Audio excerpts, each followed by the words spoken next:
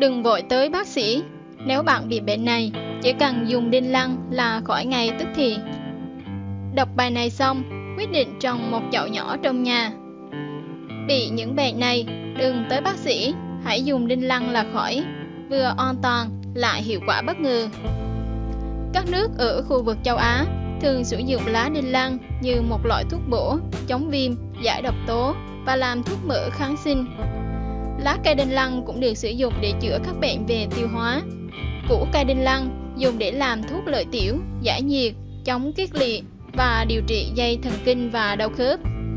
Ngoài những lợi ích được sử dụng làm thuốc chữa bệnh trong y học, cây đinh lăng còn được sử dụng làm cây cảnh hoặc gia vị.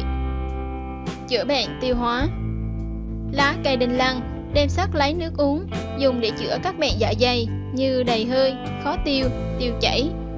Ở Malaysia, người ta thường sử dụng phương pháp chữa bệnh trĩ bằng cách sắc lá cây đinh lăng thành bột mịn và cho vào một khối dài. Xoa bóp trên trực tràng trước khi đi ngủ. Củ và cành đinh lăng được sử dụng để làm sạch nướu, răng và điều trị làm giảm viêm lét miệng.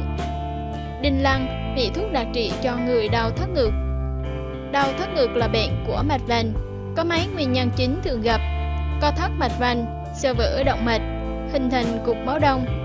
Ngoài việc dùng thuốc, món ăn cũng giúp bệnh nhân trong quá trình điều trị.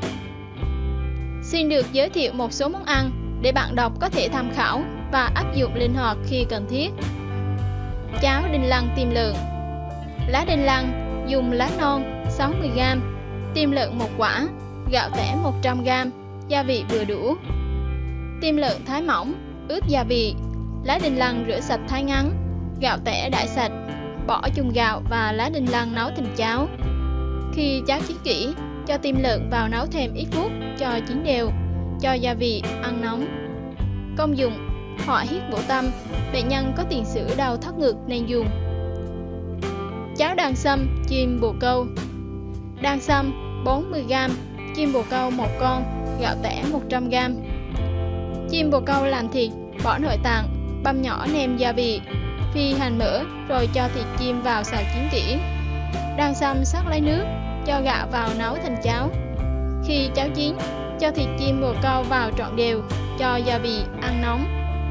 Đang xăm bổ khí hoặc huyết, thông mạch, chim bồ câu bổ nội tạng, bổ tinh tủy. Bệnh nhân đau thắt ngực, thiếu máu, hồi hộp nên dùng.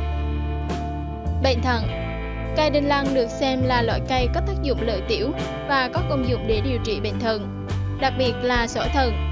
Phần lớn, củ đinh lăng có nhiều lợi ích nhất. Ở Indonesia, những người mắc bệnh thận được khuyến cáo uống nước ép lá đinh lăng để lọc thận.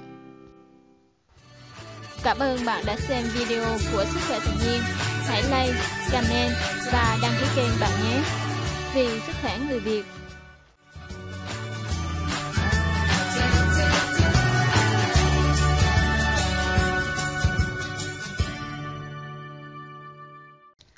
Bài thuốc đơn giản từ dứa dại, đánh bày cảm ho, sỏi thận đến viêm gan. Lá dứa dại có vị đắng cay, thơm, có tác dụng sát khuẩn, hạ nhiệt. Rễ dứa dại được sử dụng phổ biến, có tính mát, công hiệu lương huyết, lợi tiểu, tiêu độc. Dứa dài hay tên gọi khác là dứa gai, dứa gỗ, dứa núi, lỗ cổ tử, sơn ba la, giả ba la, lộ đầu tư. Là một cây thuốc nam quý, cao từ 1 đến 2 mét, lá mọc tập trung ở ngọn, quả to khi chín màu vàng. Theo đông y, nhiều bộ phận của cây dứa dại được sử dụng làm thuốc quý. Lá dứa dại có tác dụng sát khuẩn, hạ nhiệt, làm long đường, lợi niệu. Rễ dứa dại được sử dụng phổ biến hơn, có vị ngọt nhạt, tính mát, công hiệu lương huyết, lợi tiểu, tiêu độc, nên dùng trị cảm mạo, phát sốt, viêm thận, viêm đường tiết niệu, viêm gan, sơ gan cổ trướng, viêm kết mạc mắt.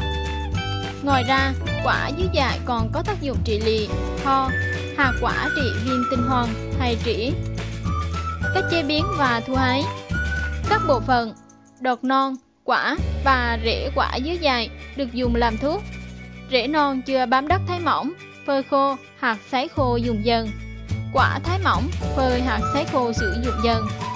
Một số bài thuốc chữa cảm ho, sỏi thận và viêm gan từ dứa dài. 1. Chữa cảm ho Dùng hoa dứa dài 4 đến 12 g sắc uống chữa được bệnh ho cảm mạo. Lấy 20 đến 30 g rễ, đem xào thơm, sắc lấy nước, chia hai lần uống trong ngày sẽ chữa được chứng đau đầu, mất ngủ. 2.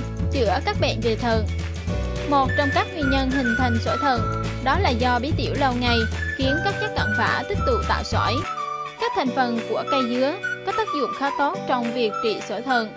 Tuy nhiên, các chuyên gia y tế nhấn mạnh, phương pháp dân gian này chỉ phù hợp đối với những người mắc sỏi giai đoạn đầu khi tình trạng còn nhẹ và viên sỏi còn nhỏ.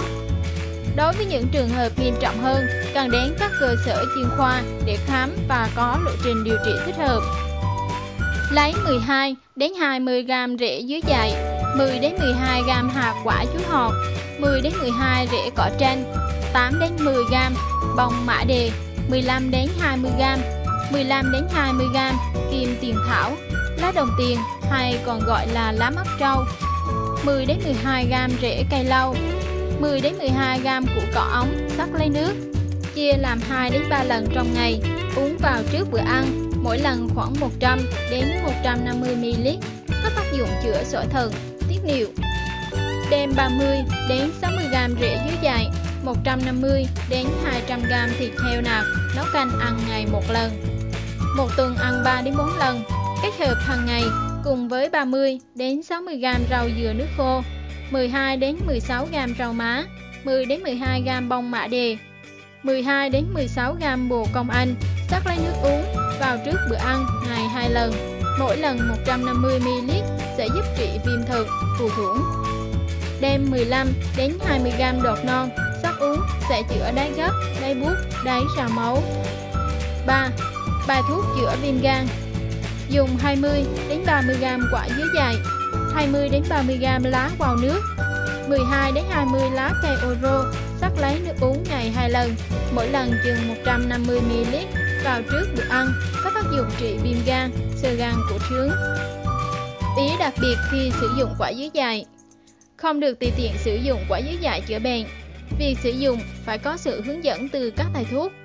Nếu tự ý sử dụng, cực kỳ nguy hiểm bởi ở quả dứa dài có lớp phấn trắng rất độc, không bào chế đúng cách và đưa vào cơ thể trong thời gian dài có thể gây ra ngộ độc, suy thận.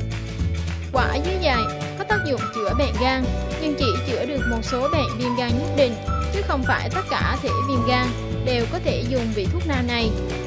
Hơn nữa, nó cũng chỉ có tác dụng chữa viêm gan cấp, mới bị và một số ít thể viêm gan mãn.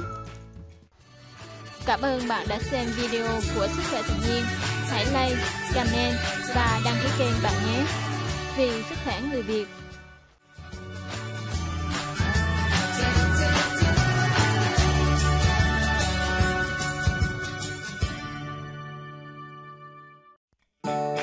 Đặt củ hành vào tay chừng 5 phút và chờ kết quả. Kết quả nhận được vượt xa cả sự mong đợi. Bạn đang giữ trong tay một bảo bối mà không hề tốn kém chút nào. Đó chính là những củ hành vẫn thường nằm khiêm tốn trên giá bếp. Hành không chỉ góp phần làm món ăn thêm ngon miệng, mà còn bảo vệ cơ thể và sức khỏe của bạn nữa. Bạn bị đau tay và cảm thấy nhức nhối không thể chịu đựng được. Đừng lo, bởi chỉ cần một củ hành là đủ để làm cơn đau phải tan biến.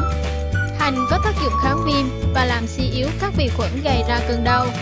Vì vậy, nếu lần tới bạn đau tay, hãy cắt lấy phần lõi ở trên trong củ hành, đập vào tay, bạn sẽ nhanh chóng cảm thấy dễ chịu trở lại. Cũng giống như tỏi, hành có tác dụng tăng cường hệ miễn dịch. Uống một cốc nước hành sẽ giúp bạn hụt Uống một cốc nước hành sẽ giúp bạn phục hồi nhanh hơn mỗi khi cảm lạnh hay bị cứng. Cách chuẩn bị rất đơn giản. Bạn chỉ cần đun sôi nước, sau đó thả một ít hành sắc nhỏ vào và chờ trong vài phút. Mặc dù tách trà hành có vị hơi khó chịu, nhưng đảm bảo sẽ cho thấy hiệu quả bất ngờ. Còn nếu bạn muốn khỏi bệnh nhanh hơn, hãy ăn hành sống khi bạn có đủ can đảm. Uống một cốc nước hành sẽ giúp bạn hồi phục nhanh hơn mỗi khi cảm lạnh hay bị cứng. Bụi bay vào mắt Thật khó chịu khi có bụi bay vào mắt bạn. Phản ứng thông thường là dùng tay dùi, dùi và dùi cho tới lúc mắt bạn đỏ he lên. Nhưng điều đó chỉ khiến mọi thứ tồi tệ hơn. Một mắt nước nhỏ dành cho bạn. Hãy cắt phần lõi của hành ra từng miếng đến khi mắt bạn đẫm nước. Nước mắt sẽ rửa trôi mọi bụi bẩn bên trong và làm đôi mắt trong sáng hơn. Tất nhiên, bạn cũng không nên lạm dụng quá. Đặc biệt, nếu đó là hành củ lâu ngày, có thể đã bị mốc, hoặc loại đã bị phun xịt nhiều chất bảo quản. Chảy máu tay Nếu bạn lỡ cắt vào tay trong khi làm bếp, hãy nhanh chóng dùng một lát hành đắp lên vết thương. Nó không chỉ giúp bạn cầm máu mà còn sát trùng và chấm viêm. Hơn nữa, vết cắt cũng sẽ nhanh chóng hiền lại trong thời gian ngắn. Vết sẹo Có lẽ bạn không hề biết rằng bí quyết để xóa các vết sẹo cơ thể lại nằm trong phòng bếp nhà mình. Hoàn toàn đơn giản. Bạn chỉ cần lấy nước ép từ hành rồi thấm vào một miếng vải và đắp lên vết thương. Bạn hãy thử xem. Khi bị ong đốt, một số loài ong đặc biệt nguy hiểm Chúng có thể khiến da bạn đỏ tấy và đau rát trong suốt một ngày trời. Ngay sau khi bị ong đốt, hãy rửa vết thương bằng nước lạnh, rồi đắp một lát hành lên đó. Hành sẽ hút chất độc ra ngoài và làm chỗ sưng dịu lại trong phút chốc. Hành là phương thuốc hoàn toàn tự nhiên, rẻ tiền, lại vô cùng hữu ích nữa. Vì vậy, lần tới đi chợ, đừng quên mua thêm một vài củ hành dự trữ trong bếp nhé. Tất nhiên, hành còn nhiều công dụng khác mà chúng ta chưa biết hết. Nếu bạn còn những bí quyết nào khác, hãy chia sẻ với chúng tôi trong phần bình luận bên dưới.